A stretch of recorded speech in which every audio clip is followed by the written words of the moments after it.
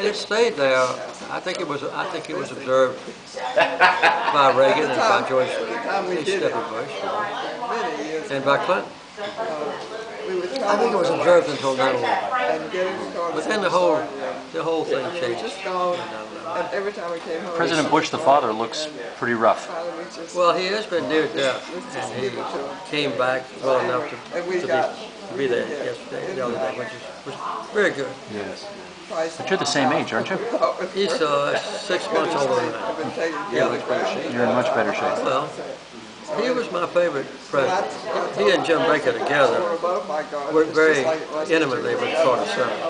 Yes. And I would say the other presidents kind of, uh, didn't cooperate with the Carter Center because of, they thought we were intruding on their territory or some reason. And we have a Mission State School. But, but, uh, Bush Senior and Jim Baker called on me specifically to, to go into areas went to the Park Service. where he couldn't go as official. And this was a great advantage you Okay, just, just make sure. We still do that, and we've always done it, Because but, I didn't want to give you but He, That's not he's the only one that ever reached out to us. And when I would go to an interesting place, like to Syria or, or to when we were leaving Chile or somewhere, somewhere, she had or to Nicaragua, school children in town. uh, he would invite me to come to the White House and give him a personal report on my trip.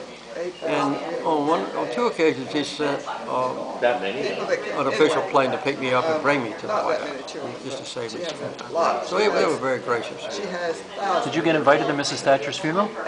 No. she knew that You didn't get invited. Maybe because you called her overbearing in your White House diaries? That didn't happen. Well, in the state when she came over, before she was prime minister, she knew more about America than I did, or anybody else in America did. about it. And she said her office was in there. Well, she's, But I got along well with her when she was in college. Service she had a similar view of Canada, let me tell you. She, uh, I'm not a Trudeau fan. she wasn't a fan of Trudeau and she, she, uh, there was a period in 1980 when Canada repatriated